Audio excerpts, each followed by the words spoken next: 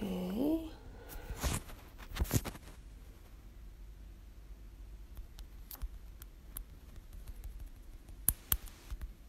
Mm. Spotlight award.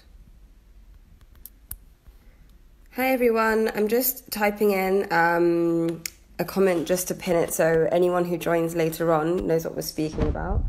So we're speaking uh, to Camila today, who is one of the judges and also the senior art director at Wunderman Thompson. Um, she's a judge for the Spotlight Awards as well. So um, we're going to be having a chat with her, what she looks for um, in the industry.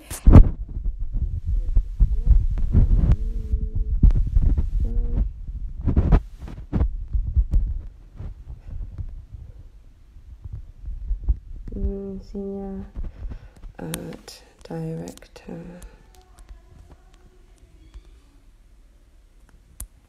Hmm. Would we?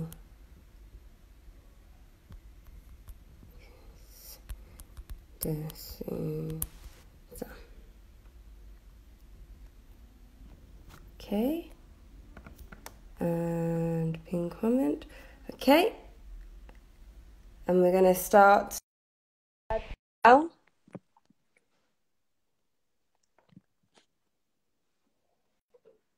Okay.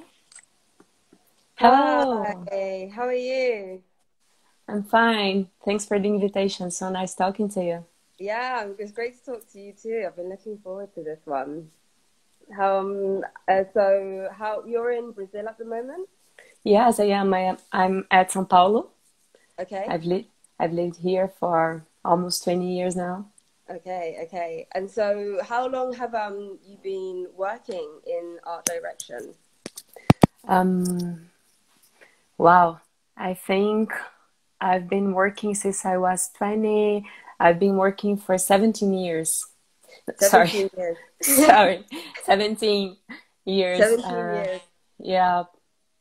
Okay, Um, and and so you have you recently become the senior art director at Wunderman Thompson because 17 years is uh, like quite you know a while. So you're obviously very knowledgeable in your field.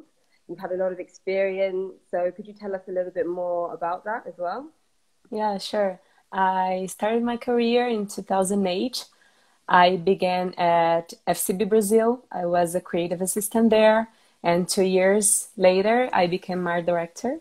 I worked for eight years at FCB. It was a great time. I learned a lot. I had a lot of great experiences. I had uh, some opportunities of working abroad because FCB has a very active network. So we, we went and did some international projects. And there I created campaigns that made me really proud for Nivea and Okay. Uh, Nestle, Sky, Oreo, among other brands, and also local brands. Okay. And okay. yeah, and then in 2000, uh, 2016, I joined TBWA here in Brazil and started working with a whole different set of clients, inclu- including Nissan and PepsiCo, Gatorade, Netflix. Mhm. And I spent three years there, and the, I have some great memories. During that time, I also had the experience of traveling abroad to work for TBWA International, and I had my baby Matthias during that time. Oh. So, yeah, he's two years old now. Oh, So, wonderful. a lot of great memories. Yes, yes. Oh, it's wonderful. So you're, you've always been busy. You've always been active and being involved in what sounds like a variety, a huge amount of really interesting campaigns. You said that you had, yeah, you said that you were able to work with um, or do some really interesting and memorable campaigns for like Nivea and Oreo. So can you tell us one that's particularly memorable to you and why? Um, yes, there was um, Nivea here in Brazil. They built this platform around music, around Brazilian music. And for their first campaign, when we decided to launch that platform, um, I participated in that. So it was a tribute to Elis, Re- Elis Regina, which is a very, very um, a beloved singer uh, mm-hmm. uh, from our history. And it at that time we were we were celebrating 30 years that she had passed away. We were mm-hmm. not celebrating, but it was her anniversary in some sort yeah. of way. And yeah. we also had that uh, the the opportunity that her daughter, um, Maria Rita, is also a singer, and she never had sung her mother's songs before, mm-hmm. and she was going to to open a set a tour of concerts singing her mom's songs. And Nivea was the sponsor was the the brand behind all that. So it was very emotional and yeah. and it was a great campaign to be on. It was we were like having chills all the time. It was very emotional. Very emotional very memorable. It gets you right there no? Right something you'll always remember Yes. And recently I joined Wunderman Thompson. And now I also work with a very beloved um, beauty brand, which is Avon. And mm-hmm. Avon is huge here in Brazil. And it's a brand that I've always admired because they have, for a while now, they have had their mindset on bringing diversity and bringing all sorts of beauty. And that is so important here in Brazil. Yes. And so I'm I couldn't have I couldn't be in a better place to be living these crazy moments with lockdown and all because yeah.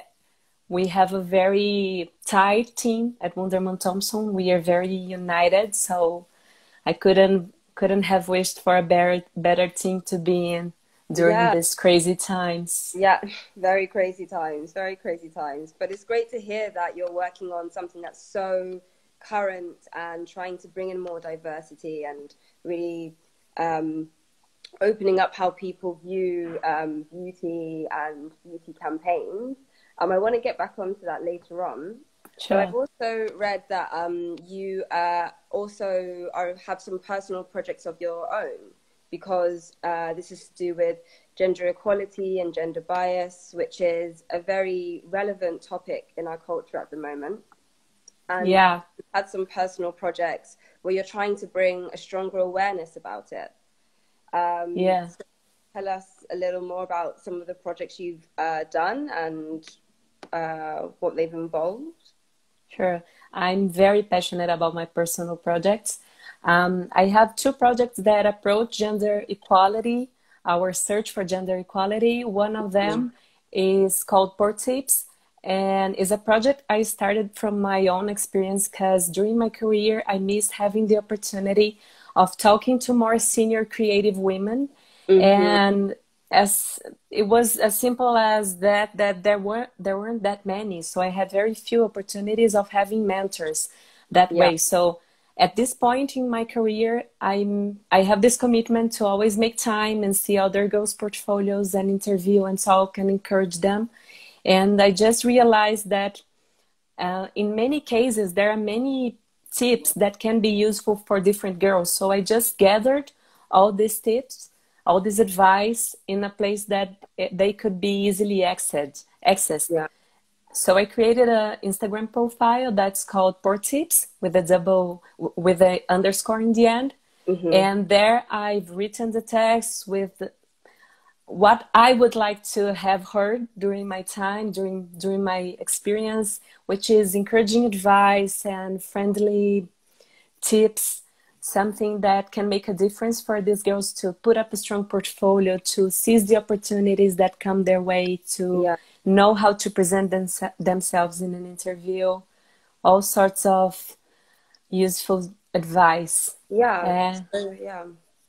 So yeah, and, it's like paving the way for a future generation of stronger female uh, figures in this industry, and you yeah. want to make sure that they have a clear path and that they're given the right information. Something you wish you had got when you were starting up. Yeah, and also that they it's a place for them to uh, be to get this awareness of incredible opportunities that are happening. We have platforms that are showcasing female talent here in Brazil, like more girls or international, like invisible creatives. And in many times, these girls they don't have access to that information. They just mm-hmm. don't know where to begin to be seen. Mm-hmm. So mm-hmm. free courses, job openings, wow. all that sort of opportunity. I'm always publishing yes, them there. And have you have you seen like a difference in you know the like the, the young girls and the women who take part in yeah. finding this information? Yeah, I think that the younger generations they are so like I just don't know, just tune to the right frequency. It's so much easier because they are fighters. Not that yeah. we weren't, we, we were afraid of not being polite enough, you know. Yeah. Just and hiding behind the odds. We we weren't just as brave, I think, as um, as honest about the difficulties and saying it out loud. Yeah. So yeah. I'm very happy every time I get in contact with the younger girls. Yeah, no, it's great because it's showing them that I mean, I mean, even though yeah, the younger generation are very brave and they're fighters, it's also very nice to be encouraged by other generations and by the community around us to say, you know, we can create a change and we can, you know, give more access and make and create opportunities for those who probably in the before would have thought it was maybe impossible.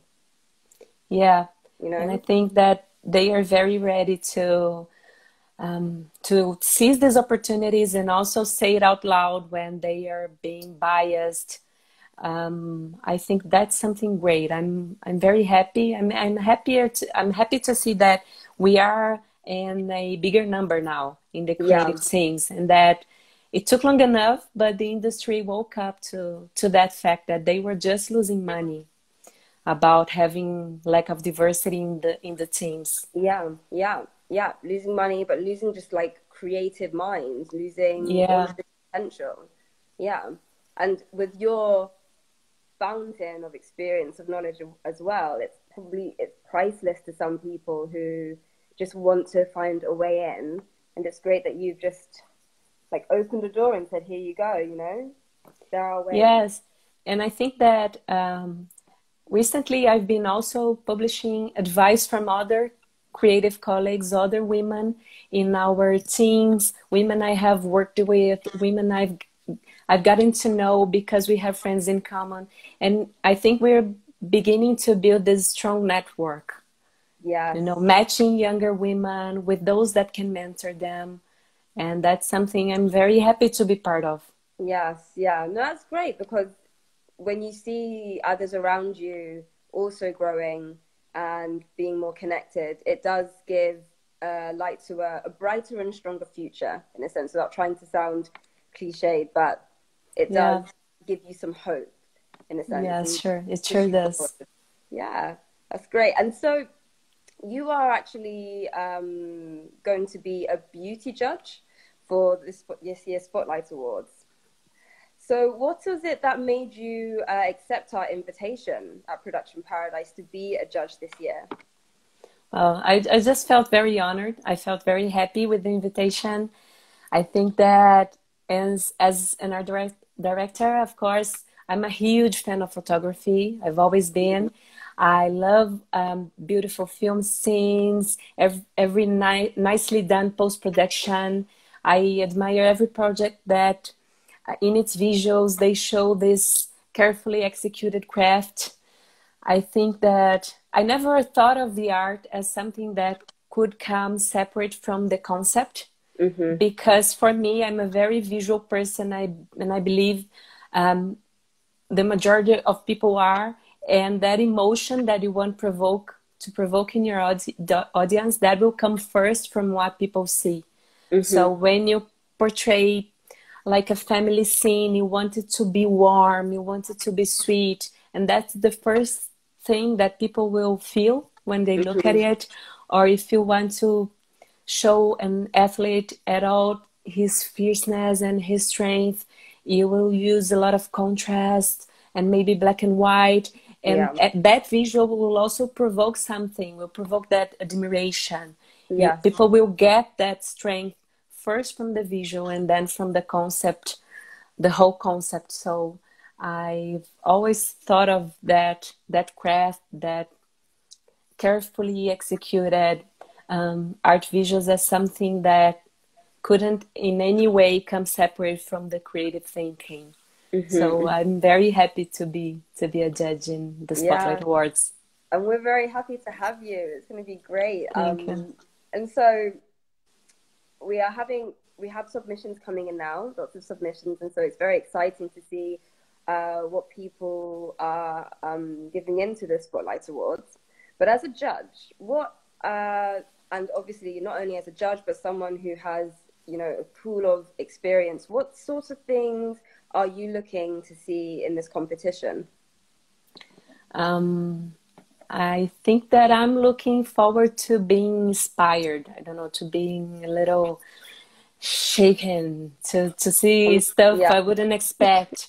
yes. Um, I think that something I love in every in every uh, aspect of art is authenticity. I really mm-hmm. want to mm-hmm. look at something and feel that the work of the artist behind that piece. So I think that since I'll be judging the beauty category, I hope I can see some new insights mm-hmm. in the beauty industry. I think that we've been through a lot of change, and that's something very good. You mm. know, s- seeing different body types, different races, mm-hmm. different people, accepting that beauty yeah. can be something more true, more real, and so that's bringing that diversity that you were you mentioned before, bringing diversity, bringing uh, different cultures, and not being um, afraid to break the boundaries in a sense of what has been constructed as beauty. Yes, exactly. Seeing that spontaneity, that that that that, that art can be something beauty can some can be something spontaneous Yes. Um, I think we're moving forward. We're we're we're leaving behind all that fashion industry setting that is a lot of sexy looks and serious faces, yeah. and we are bringing something much more, much richer. That is, I don't know. People just lose smiling, new sorts of makeup, new sorts yeah. of poses and models. I'm looking forward to see a whole bunch of innovative stuff. Yeah, but it can also like be tied into you know what you were saying about um, bringing the emotion into a campaign, not just something that is very classic and predictable, but making someone feel or creating a connection. Yes, yes, I think that um, every brand has has like embracing the opportunity to send good messages to their audience to the world mm-hmm. and i think they should and that's something that comes to photography that comes to art that comes to the films we're creating yeah. the stories we're trying to, trying to tell that's very important to have that yeah to have some good message we were we're all responsible for the transformation we are all responsible yeah. for the good changes yeah, precisely. And that can also be done through beauty photography because beauty is quite a, a controversial topic, I think, for many. And so to be able to use the changes that we are witnessing and experiencing now and create a beautiful piece that people can really relate to, I think, yeah, it'll be like a huge achievement and it'll be great to see more work like that. Yes, that's what I'm hoping for. I think that the beauty industry has been like stuck on a pattern for too long. Mm-hmm. And we need to to break it. We need it we really need to break it to bring diversity, to let people see that beautiful has so many meanings. It's so yeah. it's such a a broad um, word. It it has so much meaning, so mm-hmm. much more than what we, we have seen so far. Yes, exactly, exactly. Oh, it's really so. It's really exciting. It's really great that you know there is someone like you who's also going to be one of our judges and hopefully like encouraging people to be more daring. Yeah, exactly. Sometimes, yeah. sometimes people are just afraid to do what hasn't been done yet. Okay. But they they really should. Yeah. Because yeah. that's how you find your inner voice. That's how you make authentic work. Precisely. Being there and being so so that leads me on to my next question, which is um, so what kind of qualities, like both personal and professional, do you look for in photographers? Mm. I think that um, during my career, I had the pleasure of working with really great professionals. So I think the bar is really high. Mm-hmm, mm-hmm. I would say that first quality of all, of course, it's talent. And I don't mean, I, I think that it's important for every photographer to build this body of work that shows his, his or her potential. And that, by that, I mean not only what you've done so far, but what can you achieve? And maybe that won't come through brands or agencies. Maybe that will need to be a personal work, mm-hmm. something that really speaks to you and that can really show your potential. And yeah. that's very important because I think that when when I look at a at a photographer's website, I always look for his personal work, for his or her personal work, because mm-hmm. that I know what true connection will she or he have had will, will she or he have with my project with, with mm-hmm. the result I want to achieve. So I mm-hmm. think that talent is a first. Um, second, I would say this initiative and passion because every creative is looking for someone who will just add that something that will make the work more interesting yeah and that can come from proposing a different composition to mm-hmm. making i don't know maybe something else totally different but that will that that uh, proposal will like wow us and yeah. we want that for our, our final result you know just yeah. how can you enhance the work and i think that a, a very important quality is also trust, is also reliability. Mm-hmm. It's very important. We we always love the projects we we create so much, and one of the most important things is being able to trust uh, people we'll work with to make that come true. Mm-hmm. So from respecting the scheduled appointments of pre-production to sharing your thoughts to making sure planning ahead and yeah. making sure that everything will go smoothly, mm-hmm. um, as as smooth as possible during the time of the shooting. Yeah. I think that's also very important. And when you look at a list of possibilities, um, someone you can trust will sure will sure make it that name uh, stand out in so, a list of possible photographers to work yeah. with. Yeah. So it's like a mixture of passion, reliability, but also being fearless, you know, feeling as if yeah. you are part of a team and that you are pushing forward for the same goal. Yes, being crazy creative, but as responsible as you can. You know, we need to trust that things are going to happen. Yeah. Okay. So like crazy, but not too crazy. Like yeah, crazy, crazy but really reliable. That's great. So um, we, I don't want to keep you for too long because I know you're still working as well, um, and it's a different time. But so I have one last question, uh, which is, what way do you think um, the Production Paradise Spotlight Awards could benefit uh, photographers?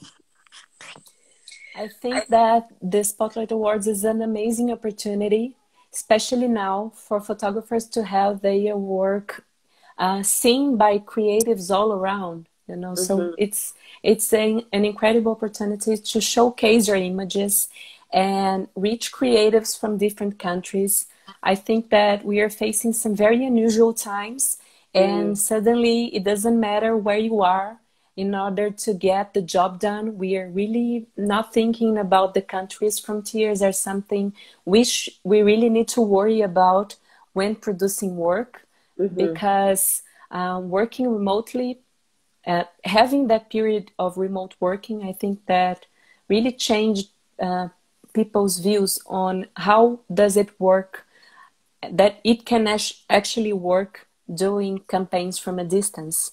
Mm-hmm. And that can be something good. I think even those who are more resistant to it at first just realized that as we needed to keep things happening, we did. And I think that in the future, we'll just keep that knowledge that we can expand the range of, of, of work opportunities and work mm-hmm. with photographers from all, all around the world mm-hmm. because it can work. And so I think that photographers should really seize this opportunity to yeah. put their work out there for everyone to see. Exactly. So it's very important to have that online presence because now that we have been confined to our homes and we have more restrictions, it's amazing how we still have been able to connect through the use of technology and through the use of being online. Yes, I think that a lot of stuff changed and we we adapted really quickly, and I think that we learned a lot by that.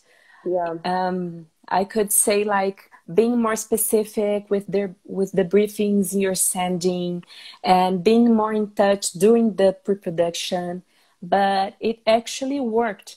And mm-hmm. i think that everyone has like opened in their heads this opportunity this little door to so uh, distance shouldn't be an issue anymore. Yes. You know yeah. we can really make it work from a distance. So if you want to to work if you love the the images of a photographer that's far, far away, you can still work with him. You shouldn't be yeah. afraid. That was exactly. something a little enlightening about these times. Mm-hmm. So yeah, so it's like um, even though we've had these restrictions, it's even it's opened more opportunities and more of a door, and shows how quickly people are able to adapt and it hasn't stopped moving, it hasn't stopped work, and it hasn't stopped the change that's going to be coming. So it is really exciting. It is a really exciting time. Yeah, uh, yes, it is. Yeah. So, um, lastly, um, what would be your final message for photographers, uh, especially beauty photographers who are going to have their work seen by you? Um, so, what would be your final message to them? Um, I think it will be bring diversity, look forward, not back, don't don't don't look at what has been done. Look at what you're willing to do for the future what message we are sending through beauty and I embrace your personal projects. I think yeah. that's something that can be awesome. Yeah yeah.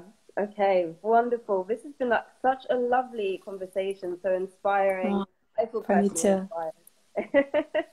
thank you so uh, much Thank you. Thank you so much for your time. And yeah, I look forward to seeing what work you choose for our production, our production paradise spotlight awards. And yeah, thank you so, much. I'm looking forward to see the work. Thank you so much yeah. for the invitation. Thank you for this time, letting me share my thoughts. Absolute pleasure. All right. Take care. Thank you. Bye. Take care. Bye.